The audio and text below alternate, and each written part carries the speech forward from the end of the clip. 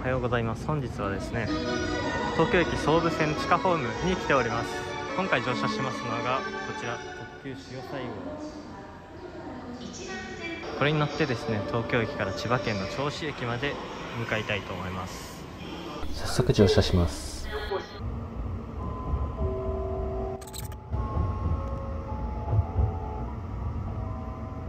東京駅を発車してしばらくは近く間を走行します。そのまま新日本橋駅を通過。続いて次の通過駅が曝露町です。曝露町を通過してしばらくしますと近く間を出まして地上へ出ます。この直前にですね隅田川をくぐりかつての総武線のターミナル駅両国駅の脇を通過しています。当時は隅田川に橋を架けるのが難しかったりその先の土地買収が難しかったりしてですね長らくの間ここまでしか線路がありませんでした。ところが1923年の関東大震災ではその先の多くの建物が壊れてしまいました。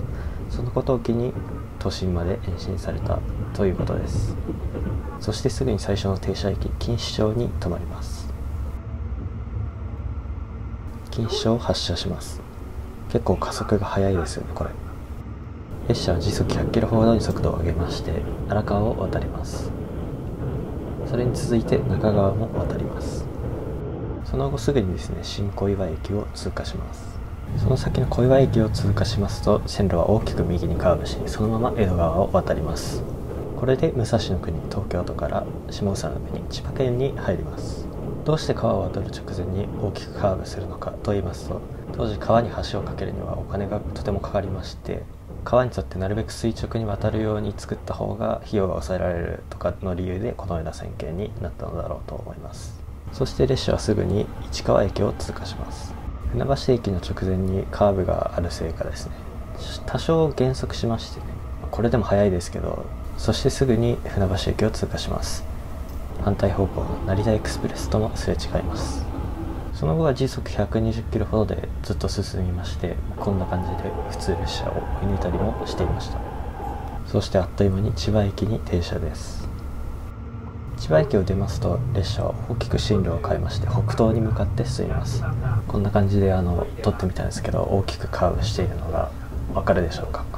ここまで来ると都会らしい雰囲気はなくなってきまして住宅が目立つようになってきます。これは物井駅を通過しているとこですね。そうしまして次は桜駅に停車します。この駅では乗務員さんの交代も行われていました。桜駅を出た後はですね成田線の線路が進行方向左に分岐していく様子が見られます。潮西号は南東へと曲がりましてですねこの先も総武本線をひたすら進んでいきます。もともとの停車駅では含まれていないですね榎木戸駅に停車しました。なんでだろうと思ったんですけどどうやら反対方向の列車の待ち合わせみたいです。忘れていたんですが桜駅から総武本線は単線になっています。違い用の2つの線路が合流するまで結構長かったんですがねこの辺りにも貨物列車が走るんでしょうかね。総武本線には亀戸とかの辺りから越中島貨物駅の方に分岐する貨物線の線路がありますのでおそらく貨物列車も通るんだろうと思います。次に列車は八街駅に停車します。これを過ぎますと市街地から外れてきましてねローカル線のような景色になってきました。がこれでも立派な総武本線でございます。この辺りでは作田川に沿うようにして走ります。ここで簡単に総武本線についての説明です。総武本線はもともと総武鉄道という施設でしたが1906年ですかね鉄道国有法によりまして国鉄総武線となりその後 JR 東日本の管轄となっております。そして列車は鳴門駅に到着です。鳴門駅を出ますと右に東金線が分岐していく様子が見られます。僕がこれまで気づいていなかっただけかもしれないですがこの辺りからですね菜の花が結構目立つようになってきました。この列車の255系とかの総武本線の黄色の色はこの菜の花の黄色なのです。ちなみに残りの白は砂浜の白ですね。そして青は太平洋の青となっているようです。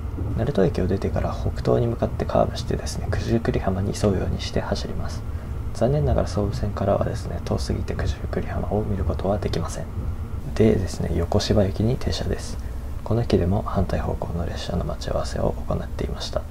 その後も田園風景の中を進みます。もう少し後の時期だと田んぼに水が張られて綺麗な様子が見られたかもしれません。その代わりさっきの菜の花とかは見られないですがね。しばらく進むと市街地らしい景色が見えてきまして銚子市のお隣旭市です。旭の次は飯岡に停車しました。旭飯岡と連続で停車するところでおそらく人口が多いところなんだろうと思います。途中この太平洋が見えそうで見えない感じ。このすぐ奥に太平洋があります。下には菜の花も見えております。松岸駅の手前でですね左から桜駅で分かれてきた成田線の線路が合流します。桜駅で成田線は分かれてから千葉県の北の方を回ってきた路線です。これを見ればもう銚子駅はすぐです。